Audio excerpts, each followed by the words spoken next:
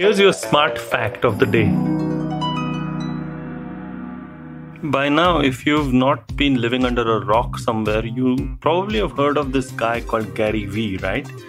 Now, Gary Vee, his net worth is supposed to be estimated around $160 million, and he's this big entrepreneur, you know, uh, social media star who creates a lot of content every day, uh, or almost every day, or at least he urges us to do. Did you know how he got famous? He started a YouTube show which was like a daily webcast on YouTube, which was covering wine because his dad owned a wine store. He renamed the store Wine Library and launched online sales, and he did that way back in 2006. Welcome to Smarter with Sid. And in today's episode, what we are going to try and do is not deconstruct Gary Vee, but we are trying to figure out how do you learn from an internet guru? What lessons do you take and what lessons don't you take? Whether it's Gary Vee or Naval Ravikant or Kunal Shah or Jordan Peterson or anybody else. Let's go. So here's the context behind the show. As you know, and Smarter with Sid, what we try to do is figure out why you know we are studying something because the only way in which we can get 1% smarter is have a good background to why we are studying what we are studying then get down to first principles and then maybe have some takeaways on on what to do. So today what i wanted to explore was look at the internet gurus right and their wisdom and try and deconstruct them because a lot of us in fact almost all of us want to listen to these internet gurus or are going to listen to these internet gurus at some point in time but not necessarily knowing what we are doing. We don't know what we are doing when we are listening to them. And I'm just going to kind of talk about it. So if you look at, say, Gary Vee, or if you look at Kunal Shah of Cred fame, or if you look at Naval Ravikant, you know, of Twitter fame, or if you look at Jordan Peterson, now everybody is talking of, uh, you know, how Jordan Peterson's illness has been and, and stuff like that, especially the hardcore fans you will have dividing opinions and you will have uh, people with polarized views. You either love them or hate them or you have an opinion of them. You may secretly love them but you know publicly hate them. Whatever it may be it depends upon your company uh, you keep and, and stuff. But essentially all of these guys have achieved fame because of the wisdom the gyan the knowledge that they have dispensed on the internet. And i wanted to try to figure out you know how do you deal with an internet guru and how can an internet guru actually make a positive impact on your life and not a negative one? So this is the the kind of context that i wanted to set. Now if i look at let's say somebody uh, just you know replace the words gary vee with any of the other ones but if you just look at um, gary vee for instance because he's such a you know a character. If you look at the energy that with which he uses to to develop his content it's an amazing amount of energy. I mean whether you like him or you hate him don't you see that the energy that he's giving is incredible and that energy itself is contagious and it makes you feel like getting up and doing something you know? It just makes you feel like uh, you know uh, moving about being busy you know working hard and all of that.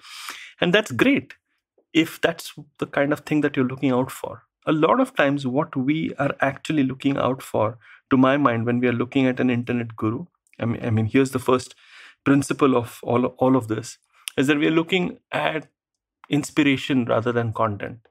Now let me explain what i mean. I think a lot of times we are trying to figure out how do i get motivated? How do i energize myself? How do i you know uh, activate things? How do i just push myself? How do i do things which are hard to do or hard to achieve and uh, these guys with the way in which they deliver that content are providing that stimulus for that energy. Now once you realize something like this you may suddenly realize that oh okay i don't need this. I don't need uh, somebody else to provide me that stimulus. Or maybe you do realize that i do need this uh, you know kick up the bum sometimes and uh, maybe uh, you'll get better at actually identifying who is it that will inspire you to take action. The problem arises is uh, you know arises when we are looking at these people and their content very seriously. Now this is a problem specifically with you know short form video content when you can't really understand the depth of the subject matter that resides in the head of the person who's speaking it.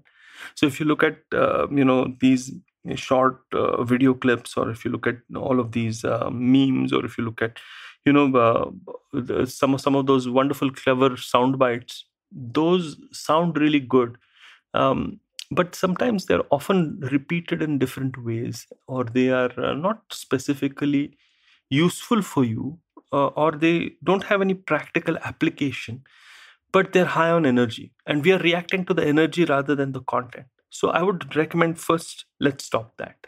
I mean what's the next thing you do? So if you've listened to somebody like jordan peterson and if you listen to his lectures you'll soon realize that the man has got a lot of depth but more than depth you know his content also comes with a lot of bias so you will not even understand because he's such a magnificent storyteller where the bias is creeping in and where it's not with Gary Vee, you'll soon feel that this is the only way to do things. Otherwise, you know, you're doomed for failure. With Naval Ravikant, it will come in in the form of a tweet, but something similar, right? I mean, this is the way things are. Or with Kunal Shah, it comes with so much of authority. Yeah, I've, you know, uh, I, I think that the answer is X plus Y equal to Z.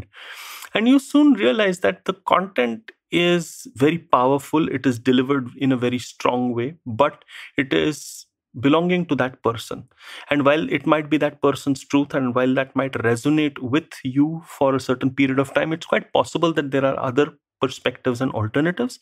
And not only will there be other perspectives and alternatives, you yourself may not necessarily like that content after, say, a month or two, right? If you listen to it carefully, or if you listen to it in the company of a friend who is probably going to be a little more critical than you and look at, at the same person differently so I would recommend looking at content uh, in in a very uh, pragmatic way. You've got to ask yourself, how is this content applicable to my life right now? Can I use it? Can I actually do something about it? If you can, wonderful. Do something about it, and maybe write it down so you know uh, you know that this guy has been good. But my recommendation, and that is incredibly important for us to kind of ponder, is to not become part of a tribe that that person represents. You know sometimes what happens is that we let our common sense uh, you know uh, go away. We look at uh, the uh, the tribal aspect of our humanity and then we just belong and we come with our biases. And my recommendation would be not to do that because it's not going to be useful for you nor is it going to be actually practical for you to be just part of a tribe. You're going to stay where you are and gary vee is going to go uh, and, and get another million subscribers for himself. That's not what you want really when you're looking at an internet based guru. What you're trying to figure out is how can this be practically applicable to my life?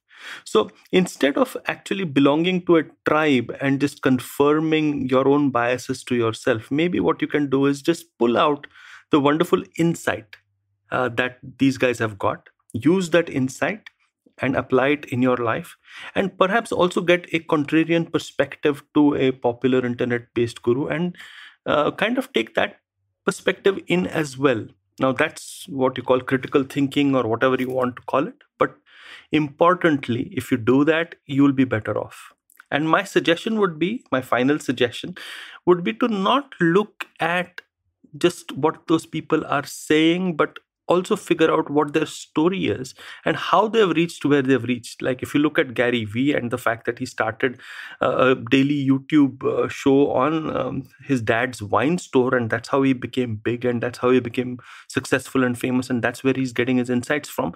There is a big and maybe even bigger lesson there than all the content that he is giving currently.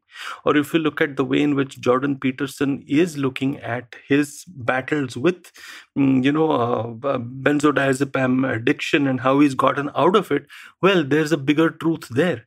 So I personally find that insights are fantastic, but background stories also tell us where that person is coming from. So, internet gurus, right? Internet gurus tread with care, make sure that you get the insight, apply that insight before you belong to that tribe and that's what i would recommend. Certainly uh, for all uh, listeners on smarter with sid that's what how i will recommend you listen to me. If you think i'm an internet guru i certainly am not. I'm just trying to become 1% smarter along with the rest of you. And i hope you like this episode of smarter with sid if you like it do subscribe like this podcast, subscribe to this podcast. If you like who I am, I'm the traveling professor on LinkedIn and on Instagram. And hey, like podcasts like these? Well, IVM's got a lot of wonderful stuff for you. On that happy note, then, on that happy note.